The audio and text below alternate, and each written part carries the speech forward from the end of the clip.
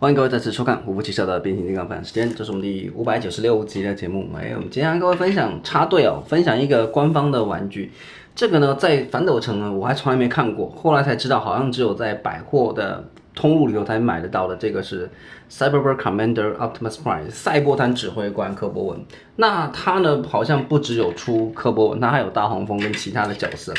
那么呢，是因为前两天呢，在网络上呢，有朋友呢突然揪团说从淘宝批这个系列回来卖，我才去跟朋友询问一下，没有人收这个系列。我的一个好朋友叶正德先生，他刚好对这个系列呢，他有收，哎，很意外，我跟他借过来拍个节目。首先，这个玩具呢，体型来讲非常的大，呃，正面来看的话颇有气势。我们把它跟这个第四级的 Leader 级的玩具放在一起，你看它的个头比这个。第四级的 L 级还要再大很高，但是呢，哈哈，毕竟嘛，大家也熟悉这个，翻到后面呢，可能就，我们给各位看一下它的一个背后，就这个样子，非常的，嗯，几乎可以说是惨不忍睹吧。后面你看，车头就背在后方，那么呢，手臂的后方，也不知道到底是算想象中还是跟想象中不一样。这个地方空啊，就是正常的了。但是呢，这个呢也都也就算了。最不得了的还是它的一个可动来说呢，基本上呢只有头可以，头是一个算是一个球关，而且因为有一个关节的关系，它会往上看，但是呢并不是很优秀。那么呢手的话呢，三六零度的旋转也是 OK，这个地方可以很清楚的看到一个关节的一个旋转在这边。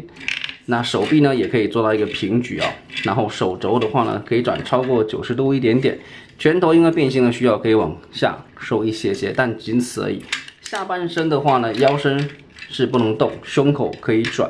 然后腿的话呢是可以往前踢。然后你一定会说那膝盖呢？这边空的，膝盖是不能动的，对，不要怀疑他膝盖没有可动，所以他的脚只能往前做一个踢正步的一个。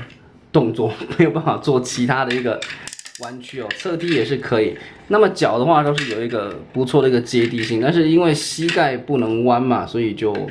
嗯，加上腰又没有腰可以转，所以就可以摆的 pose 来讲讲的话呢，就是除非你非常的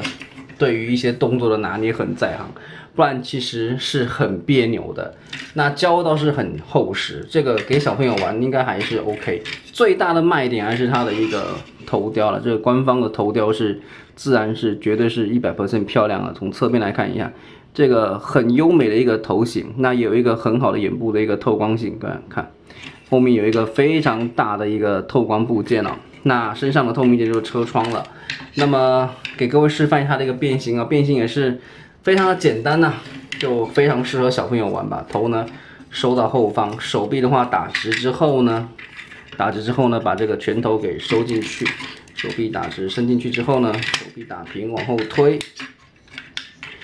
打平之后旋转过来往后推，这个往后面推，这个拳头没收进去，然后呢把这个这个胸口的话就旋转。过来变成一个哎车头了，那脚的话呢，当然就是这个直接的合并，两脚做一个合并，然后呢往上面，然后看到没有，这个地方有个这个地方有个凸对应边，这边有个洞，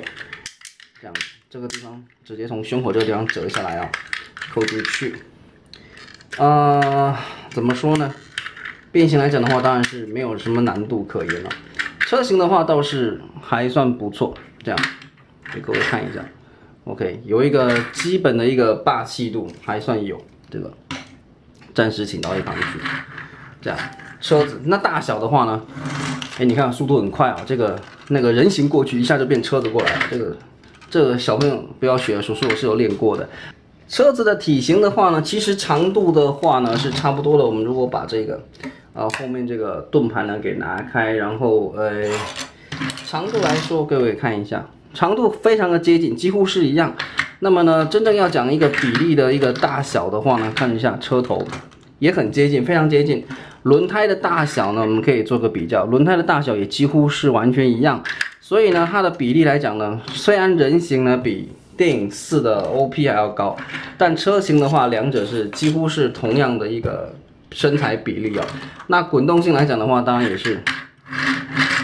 算是还可以吧，这个。前方这个轮子，因为我这个我这个桌面是非常滑的，这个超滑，呃，滚动性还很重要吗？我觉得也不是很重要了，只是突然看到这个系列，然后颇好奇，车头倒是很好看，然后因为这个朋友叶叶先生呢，他有上跟墨线，所以看起来会比较有看头。那细节车头的细节呈现还算不错，基本上就是车型比人形好大概十几倍吧。后面就是这个样子，哎，后面也还算有一点造型嘛，这一代，OK，简单的一个小玩具，那就因缘际会之下，本来完全不知道，后来发现了这个系列，所以就嗯拿出来跟大家做一个简单的一个小型的一个分享。那嗯，买跟不买这个完全是端看各位的一个偏好就是了。那这一集就跟各位进行到这边，谢谢各位的收看，我们下期再见，拜拜。